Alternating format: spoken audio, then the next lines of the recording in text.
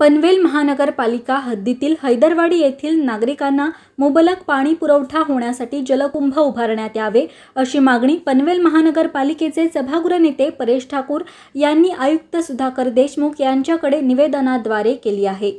पनवेल महापालिकेच्या प्रभाग पाचमधील हैदरवाडी येथील नागरिकांसाठी पाण्याचे जलकुंभ उभारण्यात यावे या मागणीचं पत्र नगरसेवक शत्रुघ्न काकडे यांनी सभागृह नेते परेश ठाकूर यांना दिलं होतं.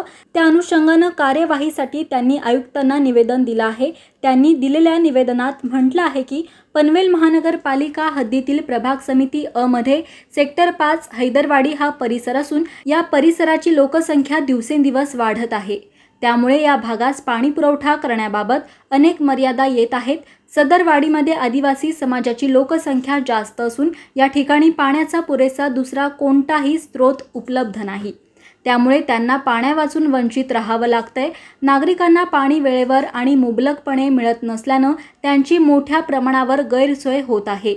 सदर हैदरवाडी पनवेल महापालिकेत समाविष्ट झाल्यानं पनवेल महानगरपालिकेकडून पाणी समस्येवर कायमस्वरूपी प्रभावी उपाययोजना करण्याच्या दृष्टीनं या भागात पाण्याची साठवण करण्याकरिता पन्नास हजार लिटर एवढी क्षमता असलेल्या जलकुंभाची उभारणी केल्यास या ठिकाणी पाण्याची मोठ्या प्रमाणावर साठवणूक करता येईल आणि त्याप्रमाणे नागरिकांना वेळेत व मुबलक पाणी उपलब्ध होईल. त्याकरिता जलकुंभाची उभारणी करणं अत्यंत आवश्यक असून त्या संदर्भात तातडीनं कार्यवाही करण्याचे आदेश महानगरपालिकेच्या संबंधित विभागाच्या अधिकाऱ्यांना देण्यात यावे असंही सभागृह नेते परेश ठाकूर यांनी निवेदनात अधोरेखित केलं आहे.